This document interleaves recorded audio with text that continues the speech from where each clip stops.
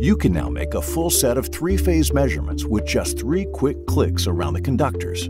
Fluke's 377FC and 378FC clamp meters let you do something not possible with other clamps. Connect the black test lead to any earth ground. Clamp the jaw around each phase conductor. Fluke's 377FC and 378FC clamp meters use groundbreaking field sense technology to collect the voltage and current for each phase and calculate the full set of phase-to-phase and phase-to-ground values. You can also get the phase order calculated automatically by connecting to the Fluke Connect app before completing the measurements. You'll be able to view the phase rotation directly on the app.